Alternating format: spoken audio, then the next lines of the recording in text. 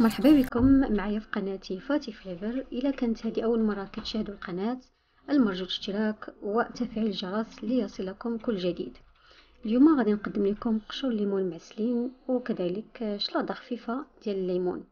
غادي نحتاجو إن شاء الله ليمون يعني على حسب المتوفر ثم السكر وكذلك الماء. أول حاجة غادي نبداو ناخذ القشور ديال الليمون ديالنا.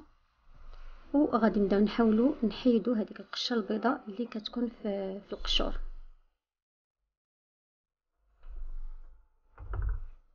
كي كتشوفوا معايا في الفيديو.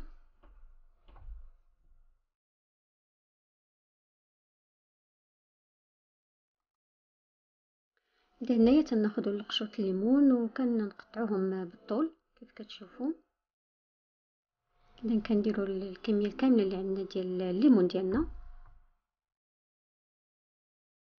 ثم كنديرو في كسرونه كنديرو فيها الماء غليان وكنلوحو فيها دوك القشور ديال الليمون وكنخليهم يطبخوا واحد تقريبا 15 دقيقة. هنايا غادي نوجدوا الشلاضة ديالنا ديال الليمون اللي هي شلاضة قديمة ومعروفة في المطبخ المغربي. آه هنايا كناخذ الليمون وكنقطعوه دوائر كيف كتشوفوا وطبعا غادي نخليوها في الثلاجة تبرد حتى الوقت ديال التقديم.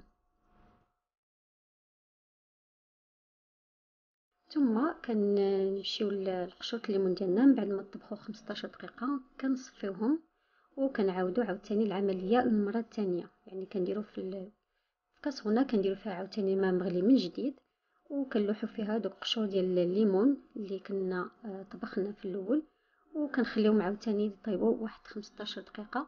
وطبعا على عافية آه، متوسطة. اذا هنا بعد ما غلى لينا القشور ديال الليمون المرة الثانية كنشدوهم كنصفيوهم وكنعبروا القشور الليمون ديالنا. بحيث ان كناخذوا نفس الكمية ديال قشور الليمون خاصها تكون كتساوي نفس الكمية ديال السكر. كي كتشوفوا هنايا عندي هنايا قشور الليمون ملي عبرتهم فيهم 95 غرام. فغادي ناخذ السكر غادي نعبر عاوتاني حتى هو خص تكون فيه 95 غرام. يعني خص تكون الكمية متساوية. اذا هنايا كناخذوا الكمية اللي عندنا ديال قشرة الليمون وكنزيدوا ليها نفس الكمية ديال السكر.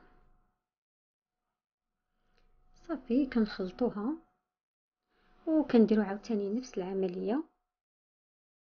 كناخذوا آه، الكاسونه اللي درنا فيها المطايب وكنزيدوا ليها داك قشرة الليمون مع السكر وطبعا بالنسبة للماء اللي كنديرو راه الماء خص يكون غير كيغطي لينا القشوط الليمون.